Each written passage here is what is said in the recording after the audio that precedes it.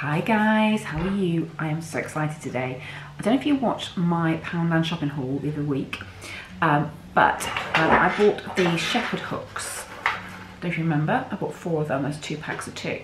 And I said that I bought them because there was something I wanted to do, but I hadn't got a key part to do it. But I got these because if I didn't get them when I got them, I might not get them.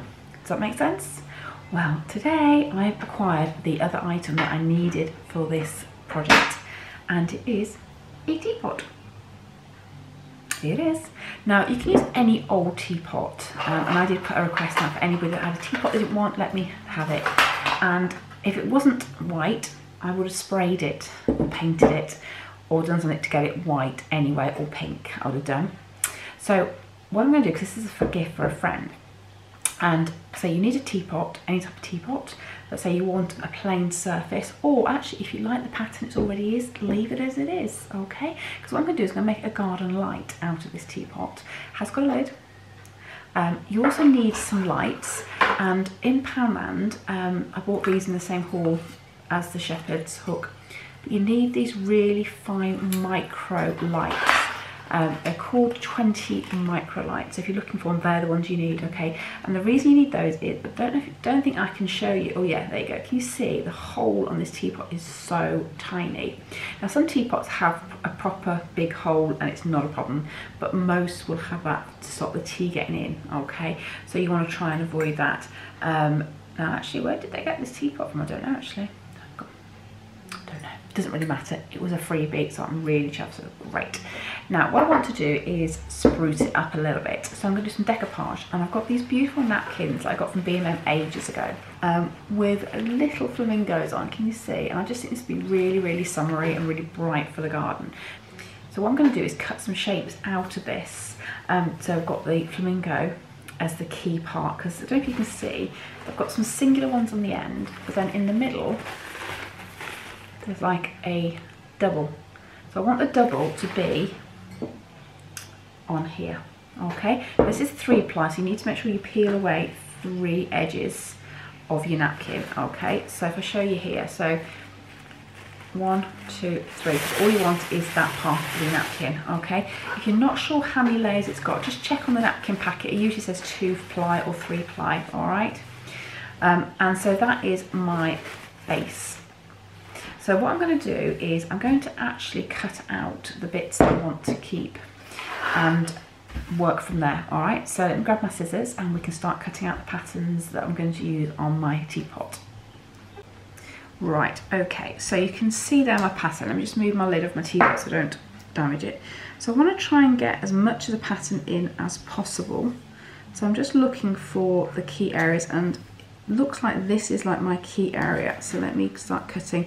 Now some people do this when they're um, putting it on using water but I just find that just a little bit more complicated for me and I want to get this accurate so let me just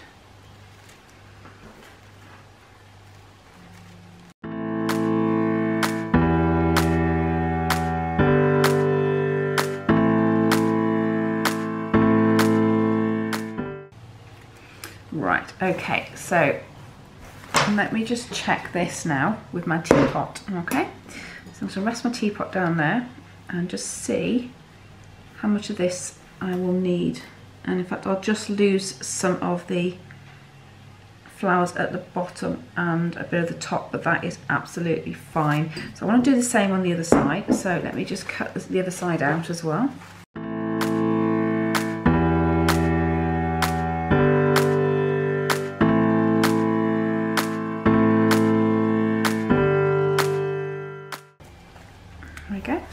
Two identical pieces. So I've got my Mod Podge here. And I've also got some cling film to help me get the edges out. All right, so I'm going to use the napkin that I've just discarded from the layers just to give me a bit of support. Get my brush and to start it off I'm just going to pop a little bit there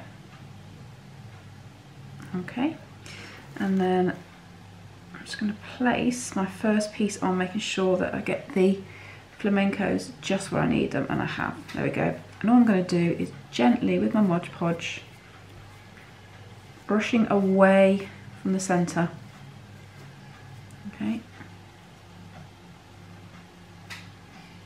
Now this Mod Podge even is the gloss. So it gives it a nice finish because the actual ceramic is glossy as well. So I want it to blend in as much as possible.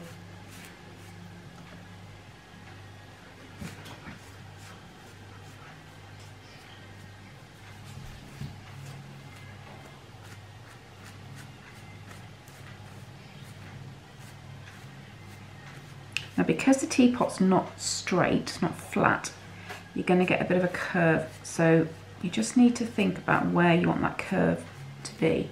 So for instance, at the top here, I'm going to push it down there, okay? Just so that you get the plants or the leaves or whatever it is you've got the curve to blend in. And I want my palm leaf this on this bit here. and then I'm just going to push this in. Take your time with it, it's worth it. And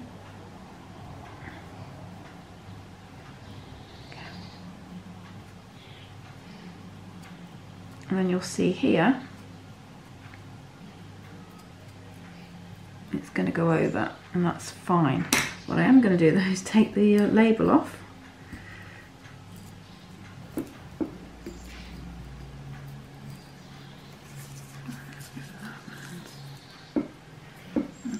Right, so I'm just going to push the flowers underneath down as well. Because you will see the underside of this when it's hanging. Okay. So once you've got all your areas covered with glue, get your cling film and just rub very gently. What you want to do is to get as many of those creases out, if not all those creases out as possible. And the reason you use cling film is it stops it ripping as easy. If you use your fingers, you'd rip through the napkin really quick. Okay, and when you're ready, you can start on the other side.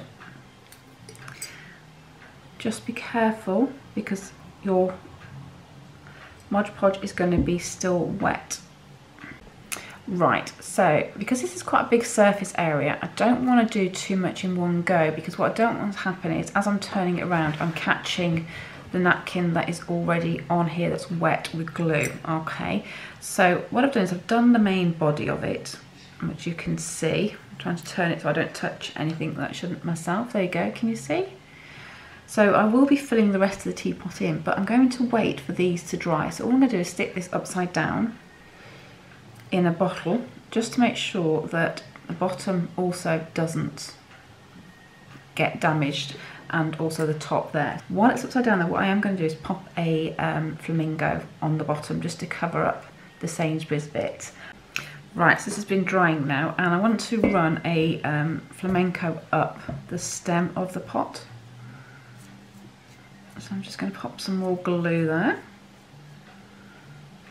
And then get my flamenco right in the middle. There we go. And then it's easy if you put your hand inside actually this bit. Um, I have done the bottom as well. I don't know if you can see there.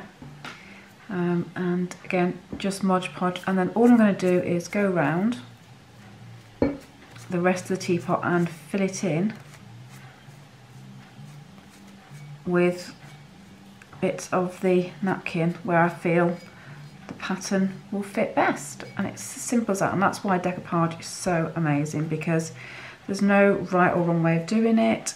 You just build up your picture how you feel you want it to look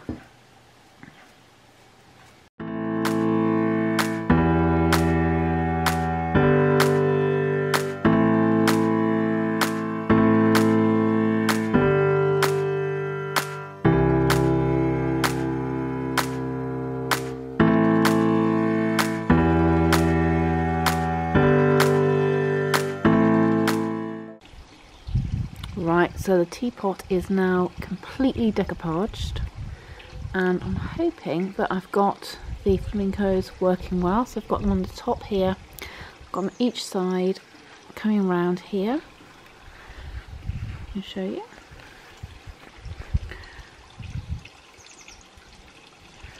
There we go. Oops, that's my shadow. Back out the sun. Right, and so what I need to do now is varnish it so it's waterproof. So I'm going to give it a good spray of some waterproof spray and then we're ready to make it into a light for the garden. Right, so my teapot has now been completely decoupaged. So it's got flamingos and jungle everywhere. So I now need to make it into a garden ornament. And how I do that, as I said before, you need one of your microlights from Poundland. I'll just put some batteries in, it doesn't come with batteries. And then just need to feed this through just got it knotted somehow.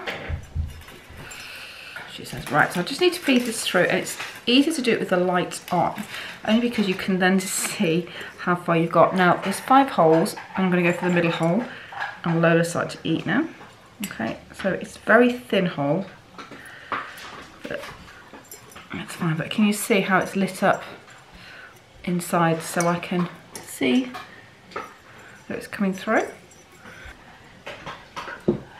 it should. There we go. Okay, right, so pull it all the way through as far as you can.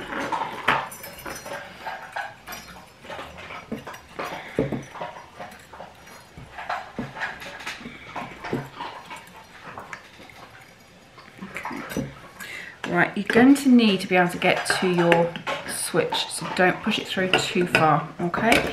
But I'm going to use some electrical tape just to hold it in place so if you ever need to take it up to change the batteries you can. Just going to, it's easy to take it out and do it that first. There we go.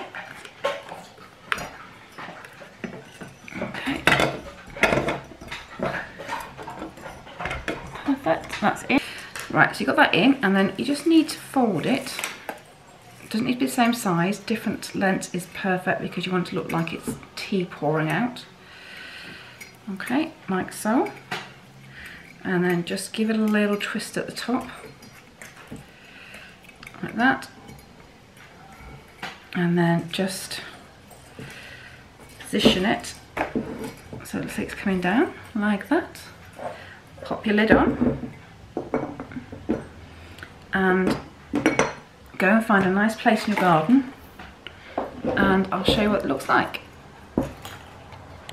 And there you go, a little garden ornament which looks like tea being poured out at night.